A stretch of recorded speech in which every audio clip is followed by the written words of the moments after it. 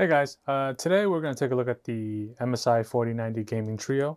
What I will be doing in this video is I will unbox this and then I will take a look at its baseline and then I will flash the Supreme BIOS or the Strix BIOS onto it and see if I can improve performance. Additionally, I'm going to see if I actually need um, 4 to 8, the 1 to 4, in order to draw the additional power requirements once I flash the BIOS. Okay? So let's first start off with opening the box. It's very plasticky, so it's got a high level of reflection on there. This is the regular gaming trio. Um, I believe there's a Gaming X, but like I've said before, you know, you're buying the same thing, just paying more for it. So let's find out uh, what this gives us. So plastic off. All right, so typical MSI packaging should open from the top. I did also get the Supreme X, uh, the water one, uh, not the air one. Um, I'm kind of actually just waiting for a block to use that. It is the same PCB, so for you guys who are planning to water cool this card, uh, you can buy this the same block for the Supreme, and it works just fine. So I, I don't remember the phase difference off the top of my head, but you do get more phases on the Supreme. I think the Supreme is a 24 plus 4 off the top of my head. It might be a little more than that. I have to check, so don't take don't take what I just said to heart. All right, in the box, you get the bracket, MSI Trio. This is the same GPU bracket that MSI has been giving for a few generations now. Uh, in addition, you also get a 3 to 1. Ah, yeah, with the sense pins. Uh, yeah, and it also tells you... Huh. Yeah, it tells you not to use like a bridged cable. You see that? Three individual cables, not a bridged. Um, I don't know who's doing that, but I mean, if you're buying these GPUs, you should have, you know, proper power supplies for them. Okay, then we get the cart.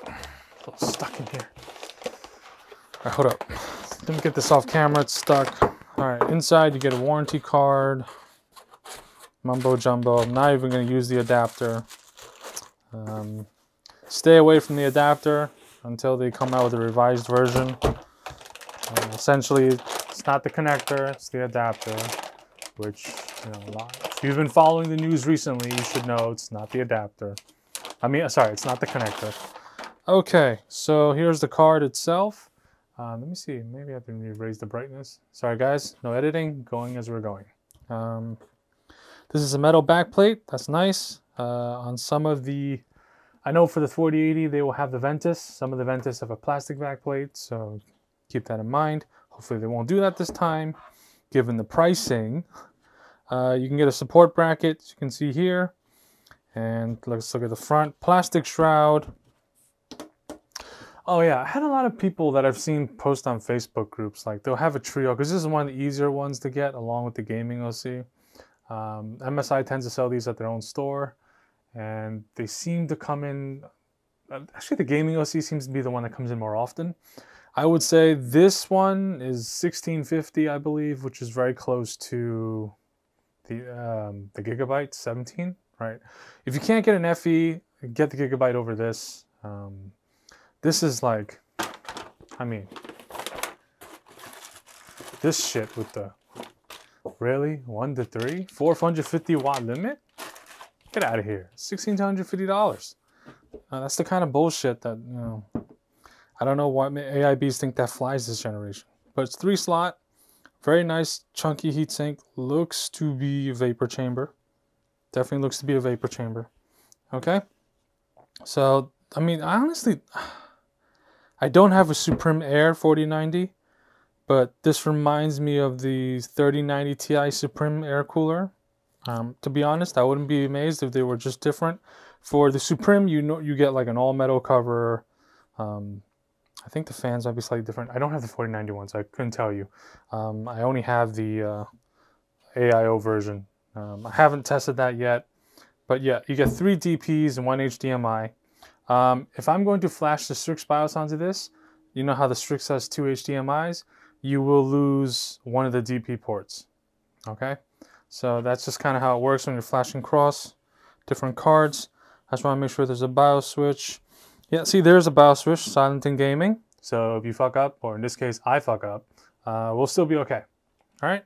So let's get this card in. Um, going to, let me see here. I just want to see if all the pads look good. Okay, so I'm gonna put this card in now.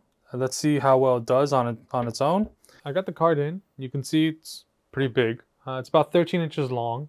All right, so have some you know size in your case.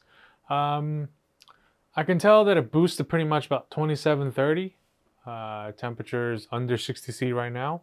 So you can see running this benchmark is drawing 375 watts. Okay. So I want to see how much it can draw. So I'm going to run Kombustor to see if I can get it to 450. Um, this gives me a general idea of the boost. And then now exit that. And let's launch Kombustor. Um, you may not be able to see on camera, but I am using uh, a three, a one to three. The one to four is right over here, so I will have that in, in the event I can't draw 600 from there after I flash the BIOS. So let us quickly just run a stress test, see how much we're pulling. Okay, so obviously there's some conversion here, right? But it's definitely capping at the 450-ish mark or near it, right? As you can see on the power supply in the front. So let's see.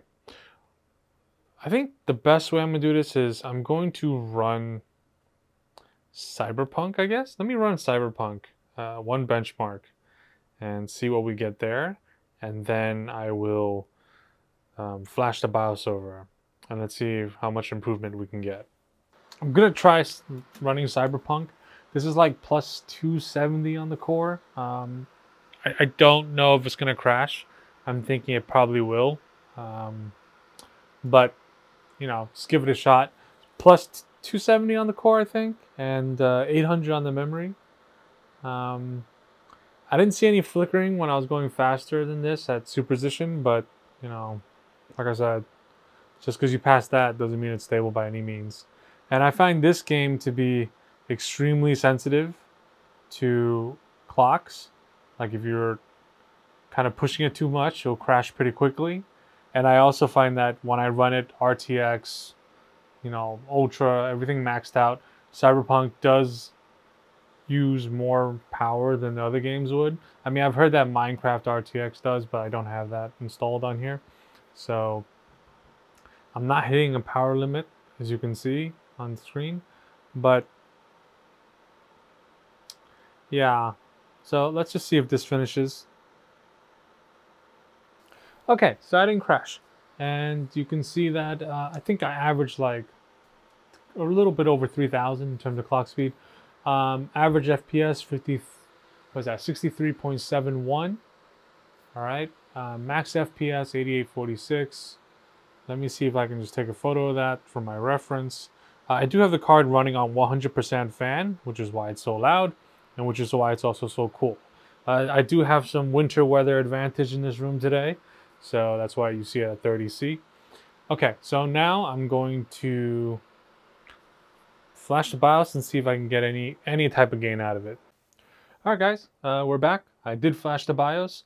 Um, I know for some folks, when they hit the this button over here to save the file, it's not going to work. Um, that's supposed to be fixed in the next version of GPU-Z.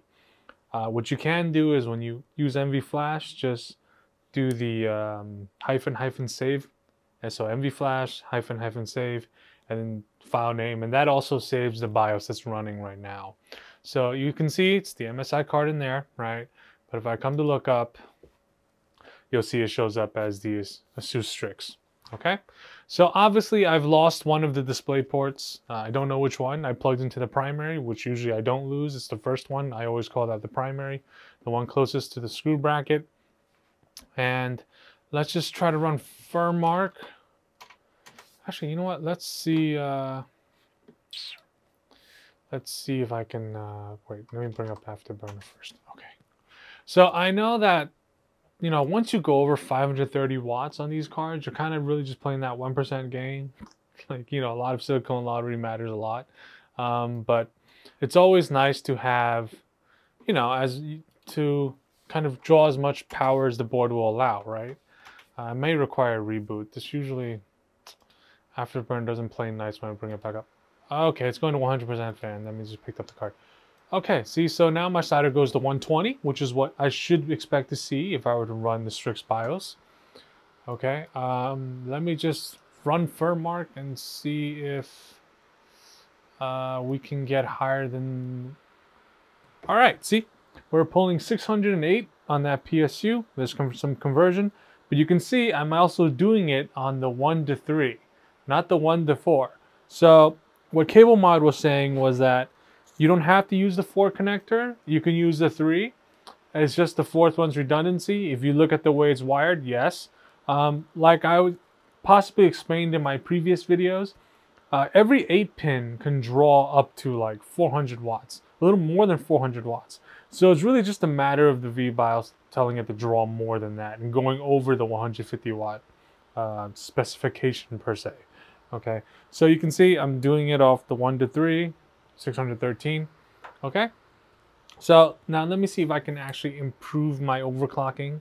Uh, I may not be able to, I may be able to. I wasn't hitting the power limit earlier, so let's find out. Running Cyberpunk. Um, I'm not drawing more power than I was earlier. Uh, that's interesting. I remember when I ran this with my um, TUF, I was drawing more power. Um, so that's interesting. Um, but the power limit is there, so if it wanted to, it could. Uh, I, I, need to find the title where I can really take advantage of this increased power limit. Um, so I have to look into that. Um, but with that said, this is actually one of the higher drawing ones, as you can see. I mean, when I was running it earlier, I was pretty much hitting the cap. Um, but yeah, so I think at this point, the additional power limit does not really help me in terms of any clocks. I mean, the Strix BIOS is more aggressive, so, you know, natural boost is more aggressive. Um, but I guess uh, once this finishes, I'll take a look to see. I mean, I, I did up the RAM speed some more. All right, 64.76. That's not that's not too far off where I was before. I think it was 63, right? Or so yeah, not much of an improvement. Um, interesting enough, there is one question that people do ask. Uh, I'm going to see if I can answer that. I most likely lost control of the RGB um, since I flashed the BIOS, but I'm curious to see if, I mean, I highly doubt it, but it'll be interesting if I can control that. Oh, goodness, Armoury Crate. All right, guys, hold up. Let me cut through this Armoury Crate crap. Okay guys, as you can see, it doesn't even show up in Aura. So even though it is running a Strix BIOS, it's not going to show up. Uh, if you flash a Supreme BIOS, you can probably still control that RGB. Um, if you're running water, you probably don't care.